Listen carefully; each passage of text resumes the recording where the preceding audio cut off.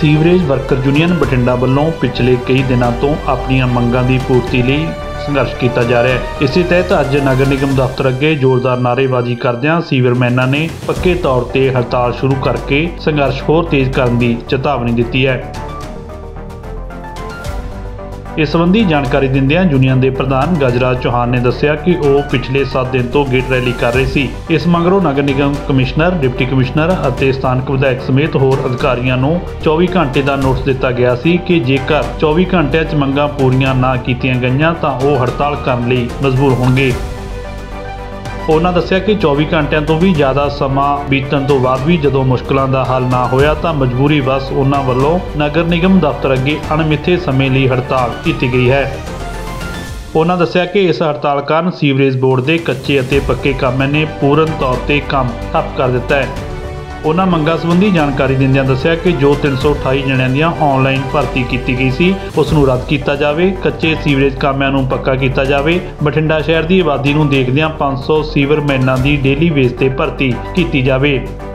ਉਹਨਾਂ ਇਹ ਵੀ ਦੱਸਿਆ ਕਿ ਮੁਸ਼ਕਲਾਂ ਦੇ ਹੱਲ ਸੰਬੰਧੀ ਕਮਿਸ਼ਨਰ ਨਗਰ ਨਿਗਮ ਵੱਲੋਂ 2 ਜਨਵਰੀ ਨੂੰ ਉਹਨਾਂ ਦੀ ਮੀਟਿੰਗ ਬੁਲਾਈ ਗਈ ਹੈ। ਪਰ ਨਾਲ ਹੀ ਚੇਤਾਵਨੀ ਦਿੱਤੀ ਹੈ ਕਿ ਨਗਰ ਨਿਗਮ ਦੇ ਦਫ਼ਤਰ ਅੱਗੇ ਧਰਨੇ ਵਾਲੀ ਦਰੀ ਵਿਛੀ ਰਹੇਗੀ ਤੇ ਜੇ ਮੰਗਾਂ ਦਾ ਹੱਲ ਨਾ ਹੋਇਆ ਤਾਂ ਮੁਕੰਮਲ ਹੜਤਾਲ ਜਾਰੀ ਰਹੇਗੀ।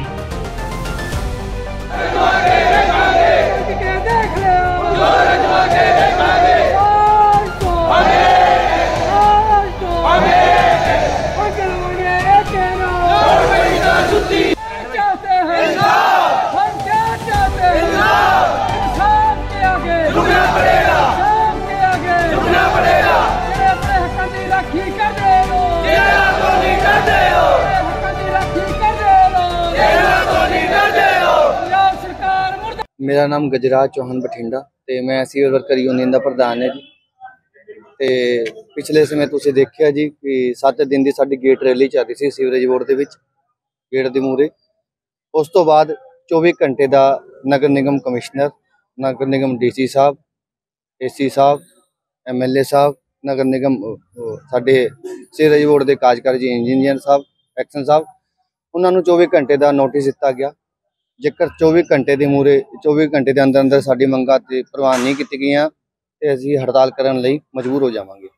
ਪਰ 24 ਘੰਟੇ ਦੇ ਵੀ 40 ਘੰਟੇ ਹੋ ਗਏ, ਹਜੇ ਤੱਕ ਸਾਡੀ ਮੰਗਾਂ ਤੇ ਕੋਈ ਗੌਰ ਨਹੀਂ ਹੋਈ, ਜਿਸ ਕਾਰਨ ਸੀਵਰ ਵਰਕਰ ਯੂਨੀਅਨ ਨੂੰ ਨਗਰ ਨਿਗਮ ਦੇ ਗੇਟ ਦੇ ਮੂਰੇ ਅਨਮਿੱਥੇ ਸਮੇਂ ਲਈ ਹੜਤਾਲ ਕਰਨੀ ਪਈ। ਹਾਂਜੀ, ਜਿਹੜਾ ਸਾਡੇ ਸੀਵਰੇਜ ਬੋਰਡ ਦਾ ਪੂਰਾ ਕੰਮ ਹੈ, ਜਿਹੜੇ ਜਿਹੜੇ ਸਾਡੇ ਪੱਕੇ ਕੱਚੇ ਸੀਵਰਮੈਨ ਨੇ, ਉਹਨਾਂ ਨੇ ਆਪਣਾ ਕੰਮ ਹੈ, ਪੱਕੇ ਤੌਰ ਤੇ ਠੱਪ ਕਰਤਾ। ਸਾਡੀ ਪਹਿਲੀ ਮੰਗ ਤਾਂ ਹੈਗੀ ਸਾਡੀ ਜਿਹੜੀ 328 ਦੀ ਜਿਹੜੀ ਆਨਲਾਈਨ ਭਰਤੀ ਸੀ ਉਸ ਨੂੰ ਰੱਦ ਕੀਤਾ ਜਾਵੇ। ਦੂਜੀ ਸਾਡੀ ਜਿਹੜੀ ਮੰਗ ਸੀਗੀ, ਜਿੰਨੇ ਵੀ ਬਠਿੰਡੇ ਸ਼ਹਿਰ ਦੇ ਵਿੱਚ ਕੱਚੇ ਸੀਵਰਮੈਨ ਲੱਗੇ ਨੇ 69 ਉਹਨਾਂ ਨੂੰ ਸਰਕਾਰ ਦੇ ਨੋਟੀਫਿਕੇਸ਼ਨ 23621 ਰਾਹੀਂ ਜਲਦ ਤੋਂ ਜਲਦੀ ਡੇਲੀ ਵਿੱਚ ਕੀਤਾ ਜਾਵੇ, ਮਤਾ ਪਾ ਕੇ, ਨਗਰ ਨਿਗਮ ਦੇ ਵਿੱਚ। ਤੇ ਤੀਜੀ ਤੀਜੀ ਸਾਡੀ ਮੰਗ ਸੀਗੀ ਜੀ, ਬਠਿੰਡੇ ਸ਼ਹਿਰ ਦੀ ਆਬਾਦੀ ਨੂੰ ਦੇਖਦੇ ਹੋਏ 500 ਸੀਵਰਮੈਨਾਂ ਦੀ ਡੇਲੀ ਵਿੱਚ ਭਰਤੀ ਕੀਤੀ ਜਾਵੇ। ਹਾਂਜੀ, ਇਹ ਵੀ ਕੱਲ ਅਸੀਂ ਚੰਡੀਗੜ੍ਹ ਗਏ ਸੀਗੇ। ਸਾਡੀ ਉੱਥੇ ਵੀ ਗੱਲ ਹੋਈ।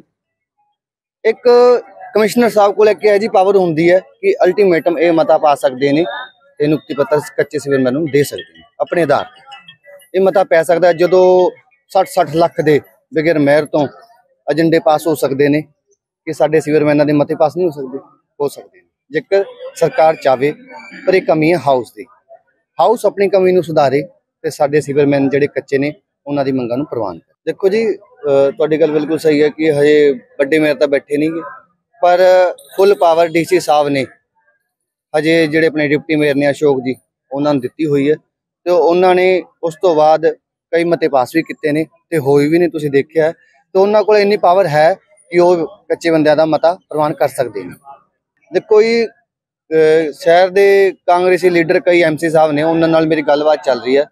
ਉਹਨਾਂ ਨੇ ਮੈਨੂੰ ਭਰੋਸਾ ਦਿਵਾਇਆ ਕਿ ਜਲਦੀ ਤੋਂ ਜਲਦੀ ਹਾਊਸ ਦੇ ਵਿੱਚ ਇਹ ਤੁਹਾਡਾ ਮਤਾ ਪ੍ਰਵਾਨ ਕਰਾਂਗੇ। ਪਰ ਜਿਹੜੇ ਸਾਡੇ ਕਮਿਸ਼ਨਰ ਸਾਹਿਬ ਨੇ ਉਹਨਾਂ ਨੇ ਸਾਨੂੰ 2 ਤਰੀਕ ਦਾ ਟਾਈਮ ਦਿੱਤਾ ਹੋਇਆ ਮੀਟਿੰਗ ਦਾ। ਉਹਨਾਂ ਨੂੰ ਸਿੱਧੇ ਸਾਫ਼ ਲਫ਼ਜ਼ਾਂ ਦੇ ਵਿੱਚ ਤੁਹਾਡੇ ਕੈਮਰੇ ਦੇ ਮਾਧਿਅਮ ਦੇ ਰਾਹੀਂ ਮੈਂ ਬੇਨਤੀ ਕਰਨਾ ਚਾਹੁੰਦਾ ਕਿ 2 ਤਰੀਕ ਤੱਕ ਸਾਨੂੰ ਤੁਸੀਂ ਸੱਦ ਲਿਓ। ਪਰ ਸਾਡੀ ਜਿਹੜੀ ਦਰੀ ਹੈ ਜੇ ਜਿਹੜਾ ਸਾਡਾ ਧਰਨਾ ਹੈ ਇਹ ਇੰਜ ਹੀ ਲੱਗੇ ਰਹੂਗਾ। ਕੰਮ ਲਗਾਤਾਰ ਬੰਦ ਹੁਣ ਹਾਂਜੀ ਕੰਮ ਸਾਡਾ ਲਗਾਤਾਰ ਬੰਦ ਹੈ ਜੀ ਤੇ ਬੰਦ ਹੀ ਰਹੂਗਾ। ਜਦੋਂ ਤੱਕ ਸਾਡੀ ਮੰਗਾਂ ਪ੍ਰਵਾਨ ਨਹੀਂ ਹੁੰਦੀਆਂ।